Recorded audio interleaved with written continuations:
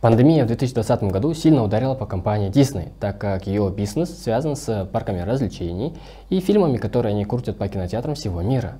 Наверняка вы тоже смотрели или хотя бы слышали об «Мстителях». Но с этой пандемией, когда людей посадили по домам и никто никуда не выходил, их парки простаивали, а производство фильмов было приостановлено. Но это не помешало акциям компании расти бешеными темпами в 2020 году после падения рынка.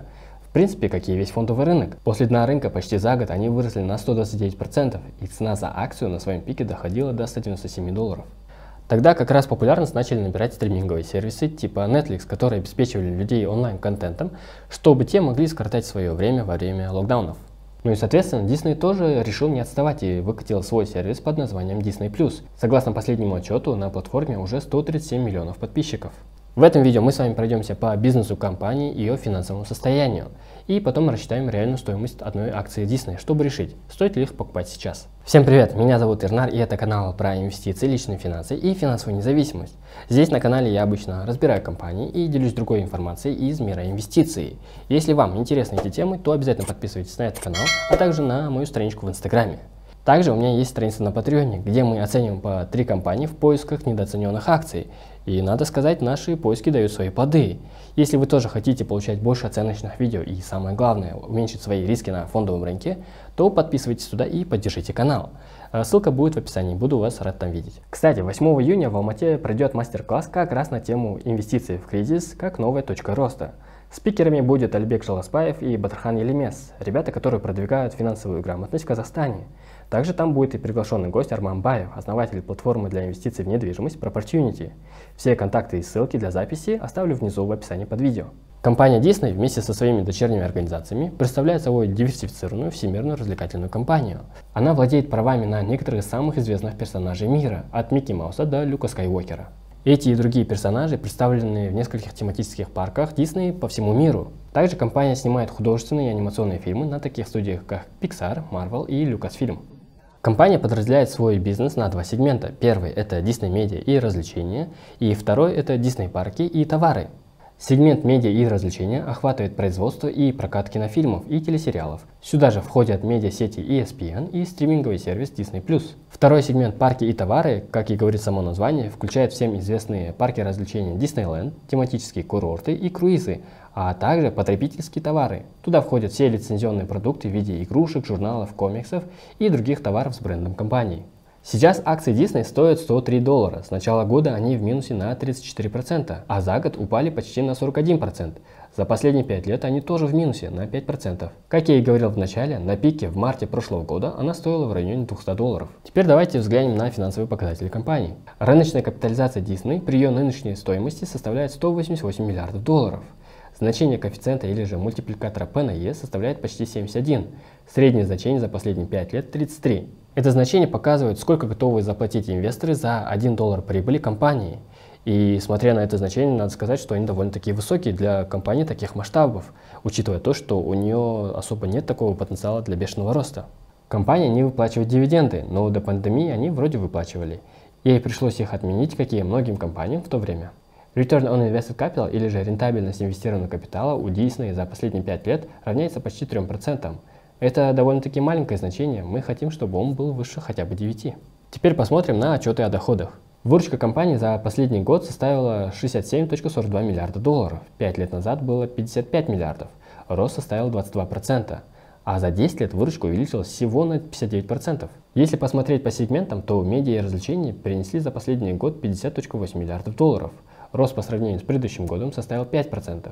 Второй сегмент парки и товары принесли 16,5 миллиардов, что на 3% ниже, чем в предыдущий год.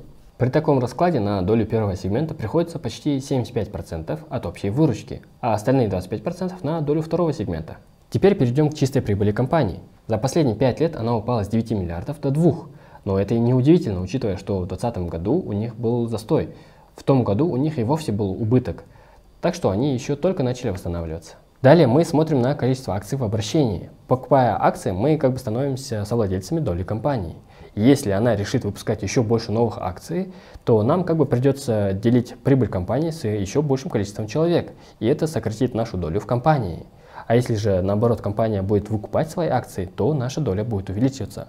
Так что второй вариант нам более благоприятен. Пять лет назад у Disney было полтора миллиарда акций в обращении, а к концу прошлого фискального года количество акций составило 1.82 миллиарда, то есть увеличилось примерно на 16%. Это тоже можно понять, потому что их акции были переоценены и стоили дорого, так что им было проще выпускать эти акции, нежели брать в долг. Следующее мы смотрим на свободный денежный поток, или же free cash flow.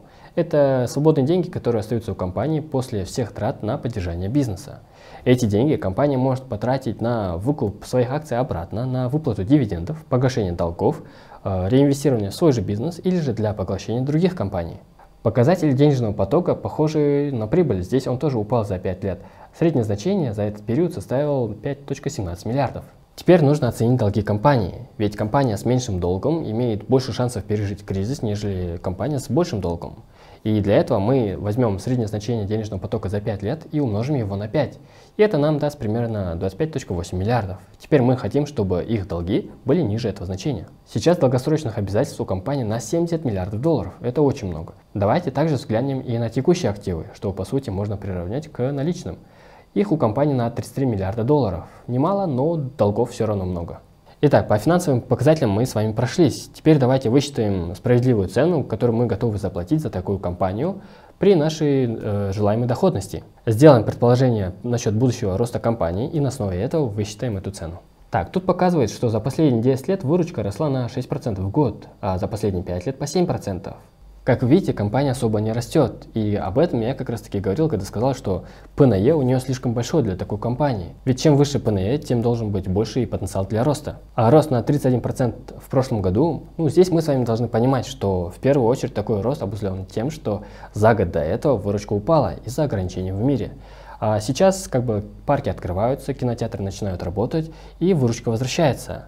Так что такой темп роста вряд ли будет продолжаться долго. Для будущего роста мы с вами возьмем три сценария 5, 7 и 9%. 9% может быть даже слишком оптимистично, но давайте посмотрим.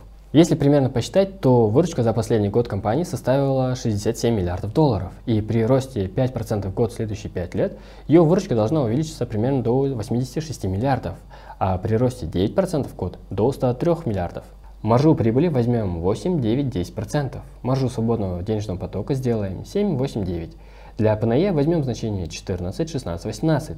Для денежного потока сделаем то же самое. Желаемую годовую доходность, как обычно, ставим 12%. Так как инвестируя в отдельные акции, мы берем на себя дополнительные риски, поэтому и ставим желаемую доходность выше, чем нам в среднем может предложить рынок. Плюс это еще наш э, запас безопасности на случай, если мы ошиблись в своих подсчетах. Если не хотите тратить свое время и силы на анализ компаний, то вы всегда можете выбрать более пассивный способ инвестирования через индексные фонды на широкий рынок, также известные как ETF. Покупая одну акцию такого ETF, вы как бы сразу покупаете кусочки нескольких сотен, а то и тысяч компаний, что уменьшает ваши риски. К примеру, э, ETF на S&P 500 в среднем в год дает 9-10%. Итак, на основе наших предположений мы с вами получаем следующие цифры. При наших самых высоких ожиданиях справедливая цена Disney примерно 85-76 долларов за акцию. То есть, купив ее за такую цену, мы можем надеяться на доходность 12% в год, если все наши предположения окажутся верными. Сейчас же акция Disney стоит 103 доллара, то есть они все еще переоценены. При средних расчетах реальная цена где-то 64-57 долларов, а при самых низких ожиданиях реальная цена опускается до 47-41 доллара. Теперь сразу давайте глянем на то, что думают аналитики про будущий рост компании. Здесь они ожидают рост на 42% в год в следующие 5 лет. 42% это, конечно, мощно. Не знаю, откуда такие цифры, но давайте попробуем ставить и посчитать. При таком росте справедливая цена уже будет в районе 292-263 долларов. Если это так, то нужно сметать эти акции с полки, пока они есть. Также можно проверить, что аналитики думают насчет целевой цены Disney. На основе оценки 23 аналитиков рейтинг акций сложился в районе покупать, а по ценам они довольно-таки оптимистичные. Цены варьируют от 130 долларов за акцию до 229 со средним значением 174 доллара. По их мнению, акции Disney сейчас недооценены. Но это ни в коем случае не повод для покупки акций Disney. Всегда нужно проводить свой анализ, так как это ваши деньги. А пока Микки Маус кажется немного дороговатым. А что думаете вы? Напишите в комментариях, как думаете, акции Disney переоценены или все же недооценены. А также не забывайте подписываться на канал, ставить на колокольчик, чтобы не пропускать будущие полезные ролики на канале. Спасибо, что досмотрели это видео до конца. С вами был Ернар. Увидимся в следующем видео. Всем пока.